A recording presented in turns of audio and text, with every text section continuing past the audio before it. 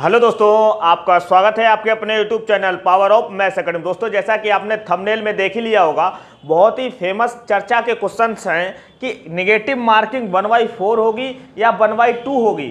साथ ही साथ दूसरा क्वेश्चन हमारा ये रहेगा कि एग्रीकल्चर के कितने क्वेश्चन एग्ज़ाम में आने वाले हैं।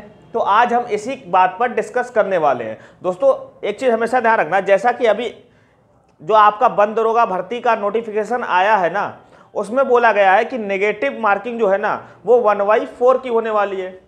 वन बाई फोर की क्यों होने वाली? क्योंकि उसमें नंबर ऑफ़ क्वेश्चंस की संख्या जो है एजीटीए के मुकाबले कम है, ठीक है? जैसा कि आपको पता है कि एजीटीए में नंबर ऑफ़ क्वेश्चन जो आते हैं, वो 200 क्वेश्चन आते हैं।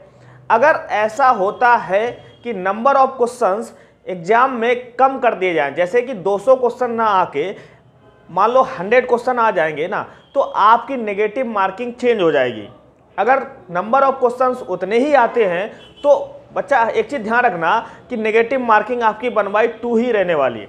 दूसरी बात हम ये भी कह सकते हैं कि नंबर ऑफ़ क्वेश्चन उतने ही आएँगे, लेकिन मार्क जो है ना, हर क्वेश्चन का एक एक हो जाएगा ना, तब भी आपकी नेगेटिव मार्किंग जो बच्चा रहेगी, वो रहेगी वन बाई फोर की। तब आपकी वन बाई टू की नहीं रहेगी। क्योंकि आपको पता है कि एक क्वेश्चन दो नंबर का आता है। यदि एक क्वेश्चन एक नंबर का आएगा ना तो बच्चा आपकी निगेटिव मार्किंग भी कम हो जाएगी, यानी कि वन बाई फोर हो जाएगी। इतनी बात समझ गए? अब बात करेंगे दूसरी बात कि एग्रीकल्चर के नंबर ऑफ़ क्वेश्चन कितने आएँगे? यानी कि क्वेश्चन की संख्या कितनी आने वाली है? एग्रीकल्चर से रिलेटेड बच्चा, जरा ध्यान से सुनिएगा। नंबर ऑफ़ क्वेश्चंस की बात करेंगे ना तो आपको पता है कि जीके के पोर्शन में आएगा। तो मेरी बात एक चीज़ ध्यान रखना एग्रीकल्चर के क्वेश्चन तो आपके एग्ज़ाम में बनने ही वाले हैं। ये बात 100 परसेंट सही है, लेकिन कितने आएँगे? तो बच्चा एक चीज़ ध्यान रखना क्वेश्चन की जो संख्या होगी ना, वो हमेशा अगर बात करेंगे एग्रीकल्चर की लगभग 40 परसेंट होने वाली है।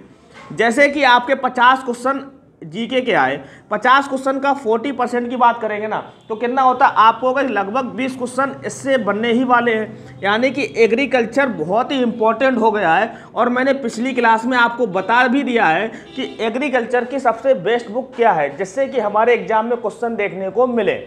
तो दोस्तों, हमेशा ध्यान रखना कि 40 परसेंट आपके एग्ज़ाम में क्वेश्चन एग्रीकल्चर के इस बार बनने ही वाले हैं।